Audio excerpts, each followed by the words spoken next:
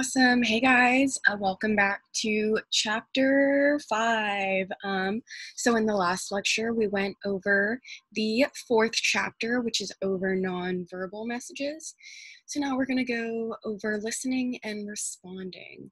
So, getting into it, we're going to talk about how much of your time um, is spent listening, what is listening, is listening a problem, the barriers to listening, how should one listen and respond effectively? So now we're on the little green um, pyramid. So we're on the fourth principle, and the next chapter will be the um, will be the last core principle that we'll have to learn for class. Um, and then after we finish the adaptation, um, we will have our like first major assignment seen in the diversity activity and the diversity paper. Um, and we'll kind of go more into detail about that later as well. So how much of your time is spent listening? So 11% is writing, 17% is reading, 17% is speaking, and 55% is listening.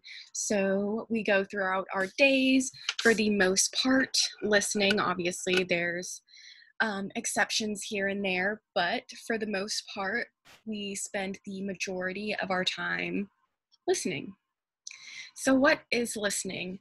Obviously, you've probably heard um, usually this is a thing i feel like parents usually say like you're hearing me but you're not listening to me. So hearing is the literal physical aspect of audio transferring into the ear and then transferring into sound waves that we can recognize as language um, as noise and language.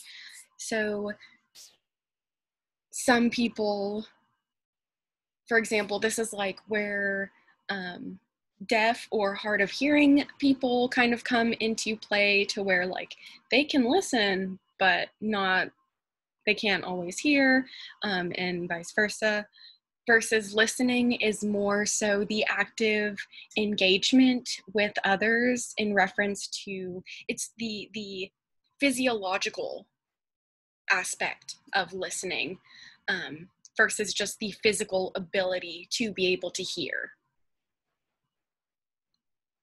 And so there's four different types of listening. There's a relational listener. So that's going to be someone who listens for emotions, feelings. Those are going to be kind of their keyword um, aspects, you know these are going to be the people who focus on like how well how are you feeling? And how does that make you feel? Um, analytical listener are going to be listeners who so, an ana- analytical listener is going to be listening for the entirety of the message. The message. This is going to be the person who is going to want to hear the full story before making a decision or before giving advice. This is this is um, the the focus on hearing out the full argument, and that may include um, from one person or just in general, um, this is usually the type of listening style that is ideal in a lectured style class. This is going to be someone who listens the entire time and is constantly making sure to um, keep track of details. Critical listener is going to be, it seems similar to the analytical, but this is critical in terms of is the person critical listeners are always going to be listening. I hate to say for like what's wrong but this is going to be more so about um,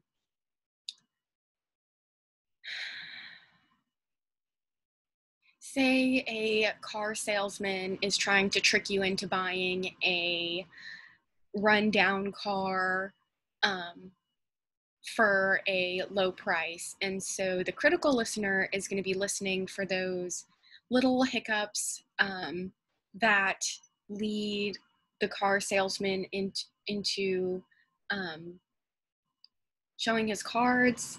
Um, the book also goes more into detail about these, and you'll also be doing an activity. So I would encourage you to make sure that you are uh, fully able to understand the four different styles of listening. Um, but critical is going to be is going to be the person who is looking for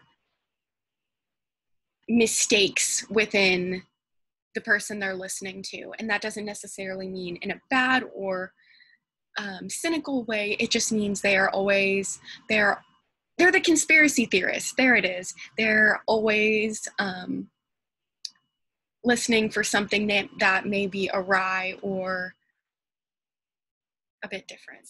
Um, task oriented listeners, those are going to be people who are only focused on the um,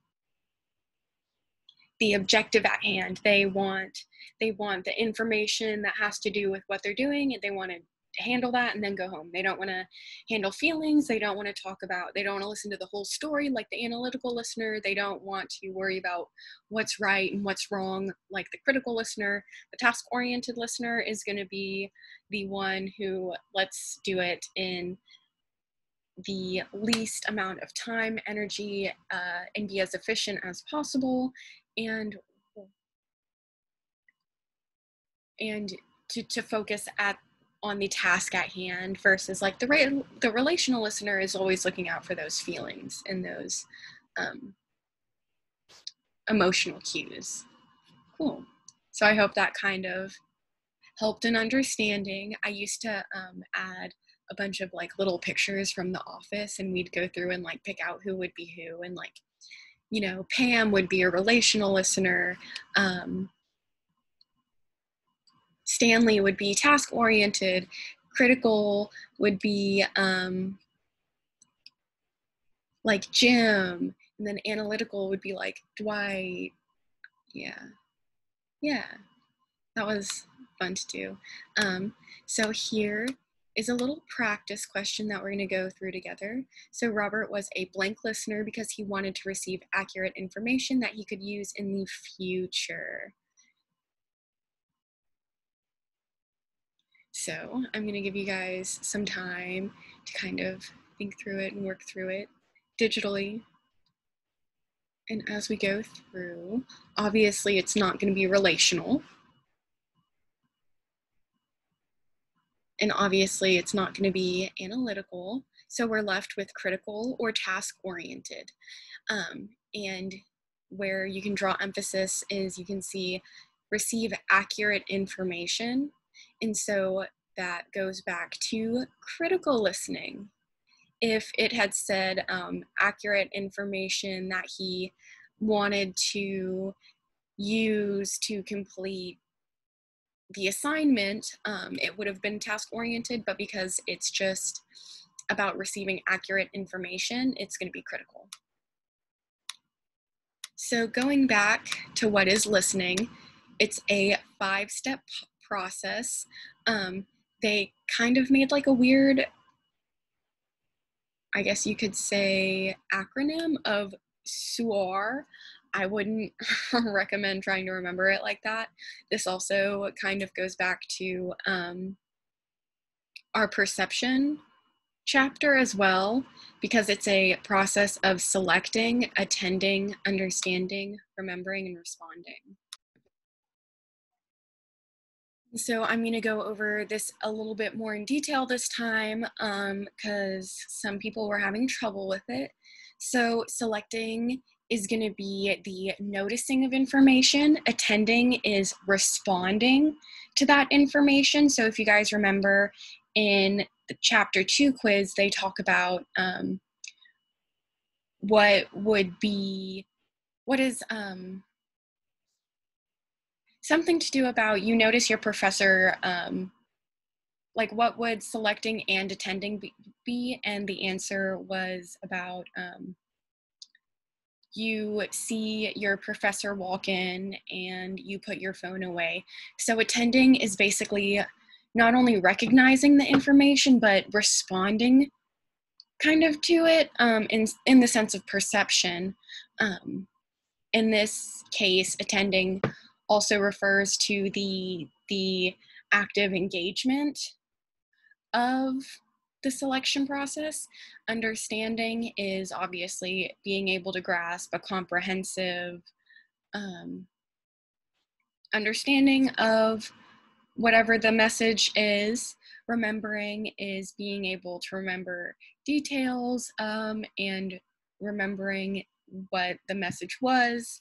Responding um, obviously is responding, but I would also I would also argue that not all responses are adequate responses. You know, um, every response, every effective response is going to be appropriate, um, both in the tone and message. So, is listening a problem? Researchers have identified listening uh, group listening problems could be a predictor of conflict um, in general. So, usually,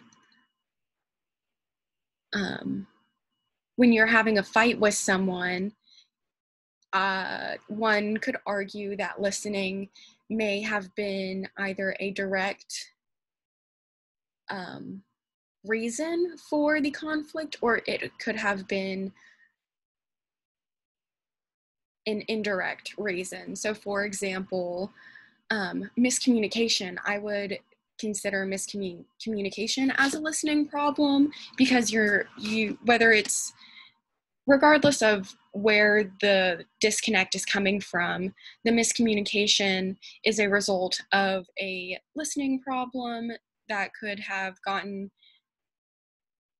so gotten so uh, taken out of hand and it's just kind of um, consistent in that case.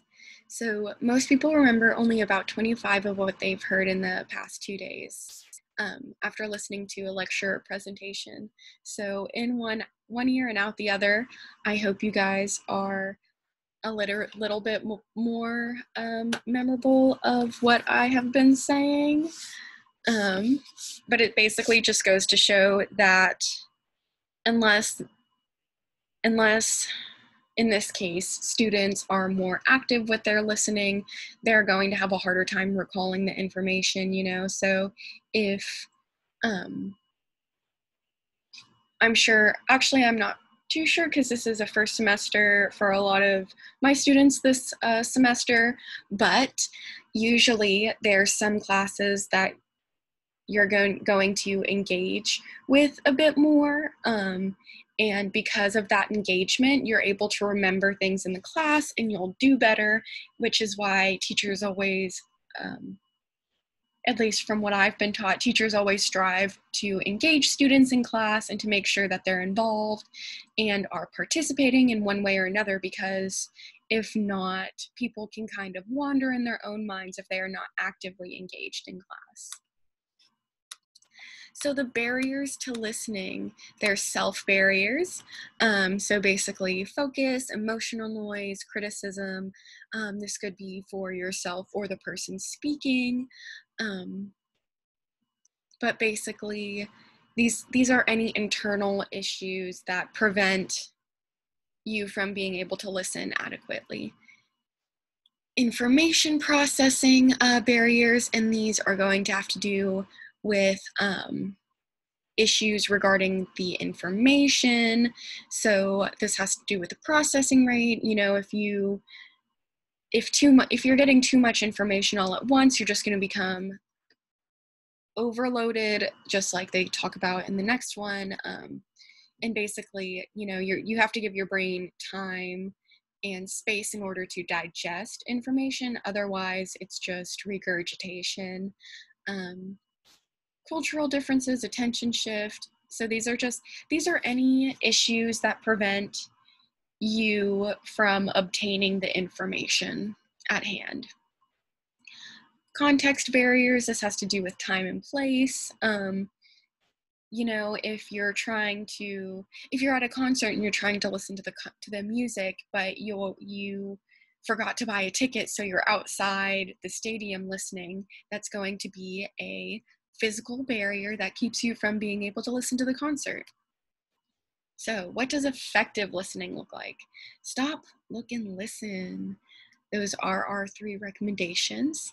So, stop turning off competing messages, internal noise, and decenter. This is going to be, you know, the shift. Um, you know, some people really say that they can multitask well, and I'm not going to argue that they can't, but I would also argue, argue that um, in multitasking, you have to shift your full attention away from one thing and kind of break it into um, other things because we have we have finite attention. No one's attention span is infinite. So moving on to look this is going to be looking for nonverbal cues meta messages um, basically use your nonverbal communication to communication to regulate the conversation. Um, this is the active listening part. You know, if you're if you're telling a story to your friend and they're sitting there like this, they're not going to want to keep talking to you, um, or vice versa when someone is engaging like that versus usually when effective listening has to do with a lot of nonverbal cues regulating the conversation to continue eye contact um, etc. So, next, you'll listen. This is going to be um, in the steps of identifying your goal, summarizing the details of the message, practice listening to difficult material, um, working to overcome listening barriers, don't interrupt, engage in active listening. And we will also kind of go more into detail about this later on when talking about pugs. Um, because they give a model that helps um, with conflict, but basically, um, you know, a good way to show that you're listening, um, both from personal experience and from the text. Um, I think people, because um, I tend to incorporate this this habit of um, when you're speaking with someone and you know they're talking about something in their life and usually they're venting whether it's a friend family member a roommate a really good way to kind of make them feel better instead of um, you know because we never want to one up someone with our troubles even though we may intend to kind of be like look i'm struggling too. It can come across as being very very um, in the sense of one upping their problems. And a good way to resolve that is to not even talk about it at that moment. Sometimes you can, but you don't have to. Instead, I really offer and suggest that. Um, to not even talk about yourself and if someone is venting to you basically just re not regurgitate but just rephrase what they are saying to you take what they're saying to you, listen to it and basically tell it back and be like, wow, it really sucks that blah, blah, blah, blah, blah happened, you know? Um, and I personally find that this tactic works a lot better than being like, oh, I totally get you. You know, I had to go through blah, blah, blah, blah, because then it just becomes trauma bonding at best and one upping at worst. And so, in order to prevent either of those, um, you know, you can show your empathy by listening and responding with their uh, story. So, responding with em- uh, empathy um, has to do with understanding your partner's feelings.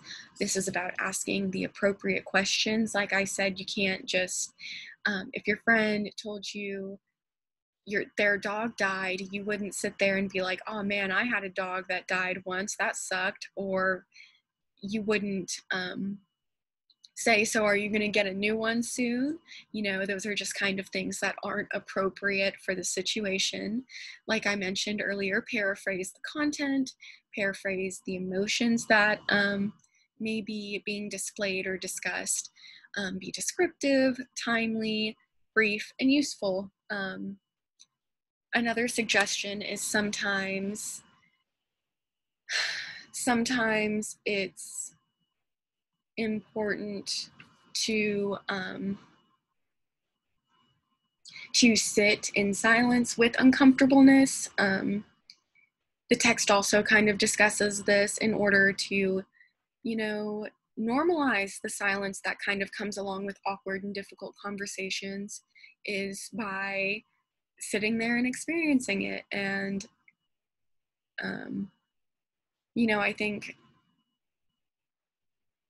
we need to learn how to be um, we as people need to learn how to be more appreciative of that silence. So moving on which statement illustrates the attention stage of listening? So is it recalling what your professor was discussing sorting through the various sounds you hear in the teaching theater, confirming understanding of your professor's lecture by nodding your head in class, um, focusing on the professor's verbal and nonverbal messages during the lecture rather than the students talking behind you. In this attention stage, um, obviously it's not going to be understanding and it's not going to be recalling. So we're left with sorting through various sounds and focusing on the professor's verbal and nonverbal messages during the lecture rather than the students talking behind you. So, um, as I mentioned before with the, the,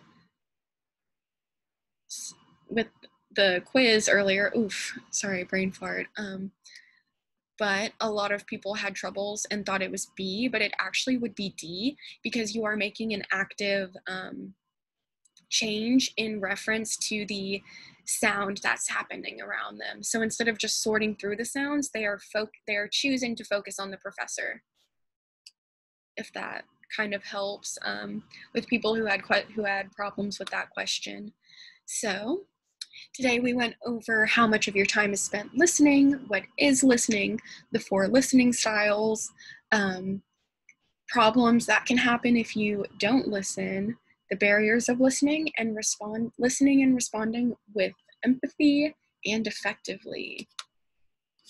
So thanks for watching this. I hope you guys have a good day and the light's a little brighter so you my lovely bathroom demon isn't here to say goodbye today, but I am, so goodbye.